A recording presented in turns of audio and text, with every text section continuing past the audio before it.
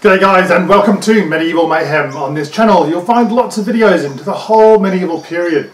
You'll find reviews into other people's gear, you'll find crafting videos into making your own costumes, you'll find DIY videos into making your own furniture, you'll find how-to videos into all sorts of medieval camping and that kind of thing. We do videos for, we analyse historical events, what happened, who were the key players, and why did things turn out the way that they did. So if medieval is your thing, this is the channel for you and you might want to consider subscribing. G'day guys, in today's video we're going to make a round shield for medieval type reenactment. Round shields were used right into the classical period by the Romans and the Greeks, and right through, right up into uh, the Tudor period really, becoming smaller and smaller um, in, what was known as a buckler shield. Today, however, we're making a shield for modern reenactment purposes. The Vikings, we know, typically preferred a flat shield. The Anglo-Saxons preferred a lenticular shield or the domed shield. That's, I say, preferred, but there would have been regional uh, variations depending on how individuals fought and how individuals, like, like what their preferences were. Alrighty guys, let's take a look. Uh, alrighty, so we have our piece of plywood and this is just a scrap piece of ply I had from a different project so it's not really increasing my cost at the moment. Alrighty, so the first thing I'm going to do is I'm going to create a circle. Shields, round shields like this tended to be anything from about 30 centimeters in diameter to 120. The smallest being what we would commonly know today as a buckler, the largest being a uh, probably more ceremonial type shield during the Dark Ages. I think a 120 centimeter shield would be way too big and cumbersome to actually really truly fight around. My personal preference is a shield of about 80 centimeters uh, in diameter, so that's what we're going to do now. Uh, I guess you could do your circle or make your circle in a bunch of different ways. You could uh, use an existing shield, I guess. You could um, use a compass uh, I'm just simply going to use a pen and a ruler, uh, sorry, a pencil and a ruler. Remember I said I wanted 80 centimeters, so the way that I'm finding that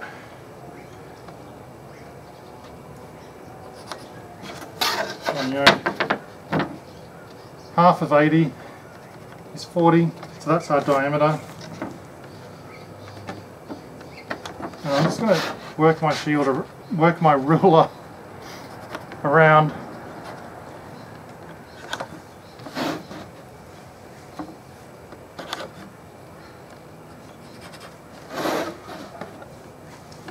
And create a, um, a circle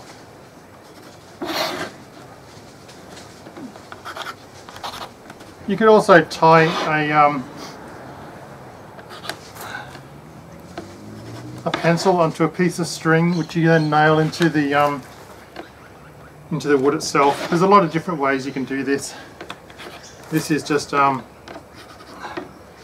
something that's going to work for me. Now I'm just going to use a black marker pen to mark out my circle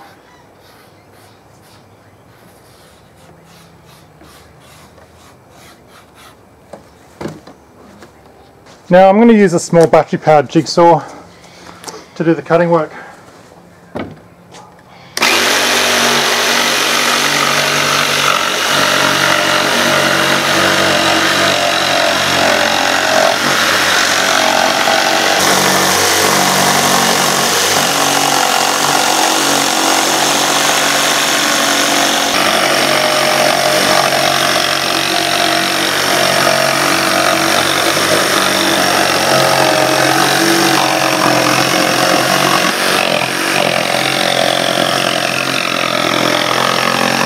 So we now have our shield blank. Now what we're going to do is we cover it with a white PVA glue. This is actually very similar to what would have happened uh, in medieval times. They would have used what's called a cheese glue. Uh, so a white glue essentially made from cheese. You need to use a fairly liberal coating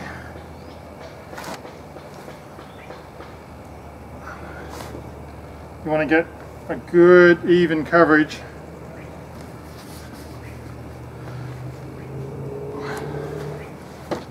I just use my fingers.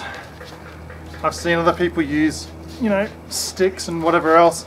Bear in mind that anything that's on top of the surface of the shield at this point is going to stick out. So any kind of bits of plywood, sawdust, bits of dirt, grass, whatever, will come through and it can really tarnish the amount of effort you put in. As well, a really good coverage of glue is important, otherwise you're going to have um, a situation where you'll get air pockets and stuff like that, which you don't want because it looks really silly. Alrighty. Stretch out the fabric as best you can. You want a little bit of an overlap. You don't need to go crazy. I've left probably about three to five centimeter. That's about one to two inches of overlap. Um, now I'm going to do both layers at the same time. I realise not everyone would do that. It's probably gold standard to do two layers separately and that's okay. Back in medieval times this is exactly what they would have been doing. For those of you who are interested they would have used uh, multiple layers of linen. Now some warriors are known to have used rawhide or leather. Um, interesting as to whether or not the leather applications would have been purely for ceremonial use or possibly to indicate the uh, position that person held in the army.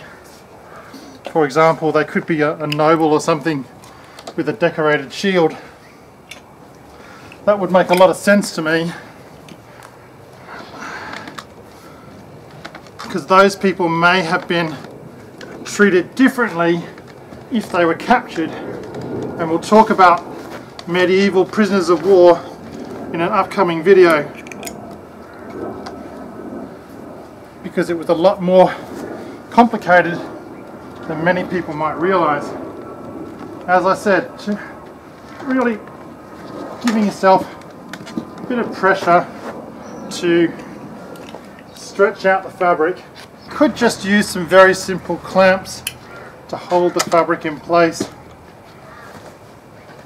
I'm just using what we call bulldog clips or fold back clips.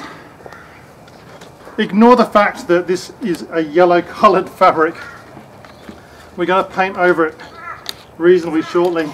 As the fabric dries and obviously becomes stiffer because of the, the glue, um, it will potentially wrinkle a bit. I don't want that to happen.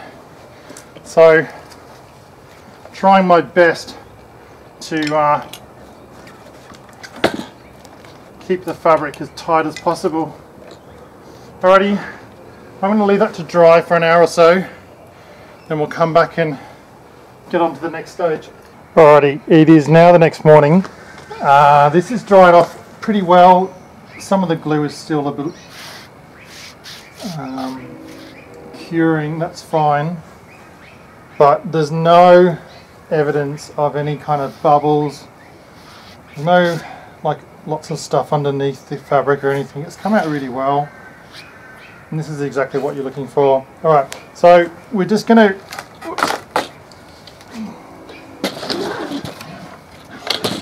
We talked yesterday about just dropping another piece of fabric on underneath and we'll do that now.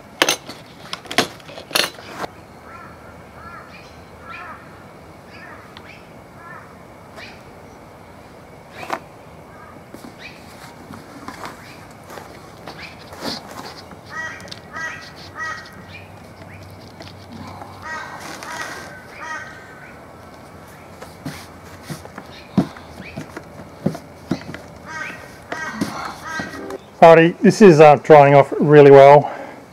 I'm now going to cut out my section for the boss.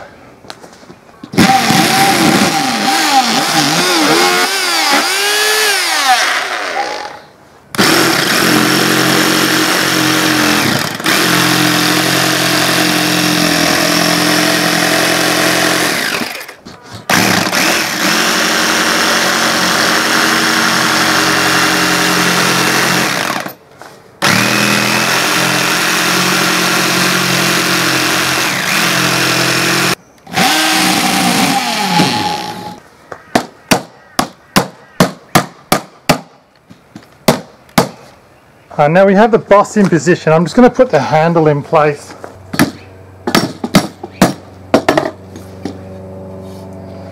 I'm just using a very simple 42 millimeter by 19 piece of pine. I have routed down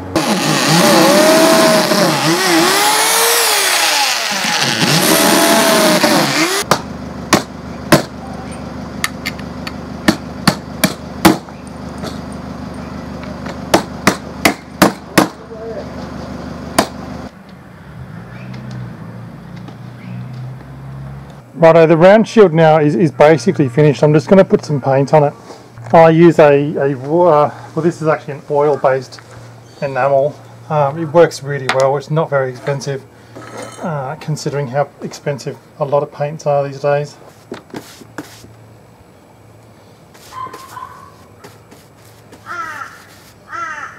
I usually put uh, two coats of paint on, for those of you who might be interested. These, these shields do not last forever. Um, they should last a, pretty long time, but they're not going to last forever, and they're not really designed to, I don't think. Great to have, if depends on what you're making it for, I suppose. If you're just making it as a decoration to put on your wall, you know, if you're a fan of one of the TV shows or whatever, then, uh, then they probably could last for a long time. But um, mine get used for combat and uh,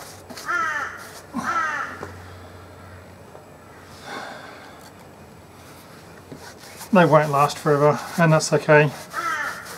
That's what they're designed for.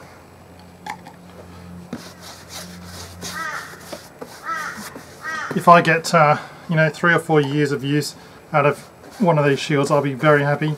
Deciding to uh, use a green here as something a bit different wanting to differentiate the people who will be using these shields.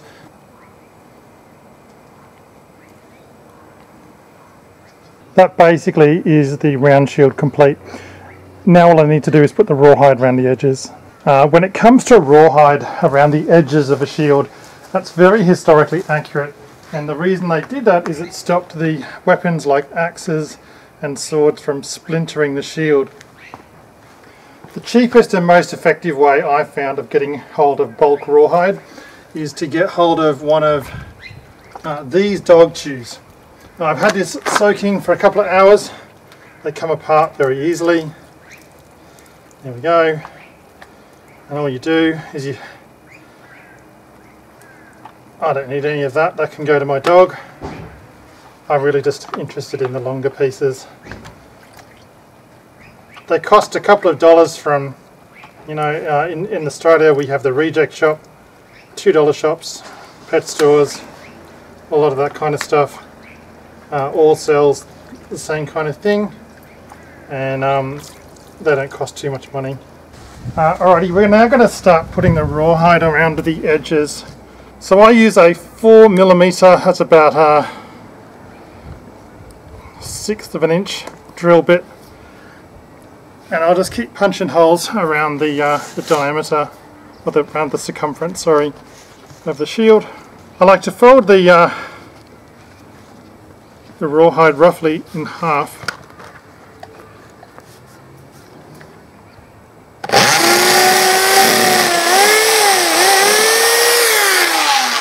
Um, I start with a small knot, just roll it down your finger a couple of times and then should come up with a small small stopper knot, that's all you need.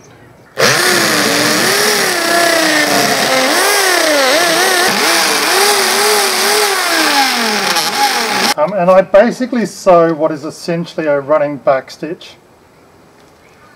So it's a continuous stitch, two stitches forwards, one backwards, and it gives me a really good appearance. I like hand stitching my shields, I make a lot of shields. Um, we are doing an 11th century production soon and uh, oops. so I think we're making about 60 kite shields and I know, about 80 round shields. Alright, I should mention this is going to take about a day and a half or so to cure from this point.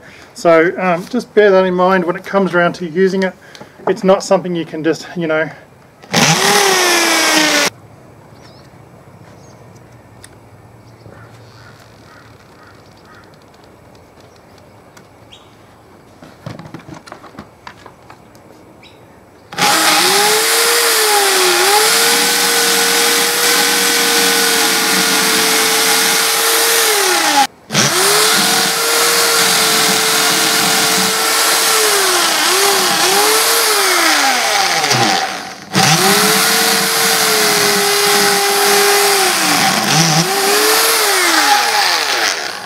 All finished, all done. This shield has come out really, really, really well. I'm very, very happy with it. It's a very simple product to make. For those of you who are fairly new to reenactment, this is a great project to do. Fairly inexpensive. We start with the um, plywood. Would have cost around about 15 or so dollars. Uh, the fabric, roughly speaking, two and a half meters of uh, cost you around about 15 to 20 dollars.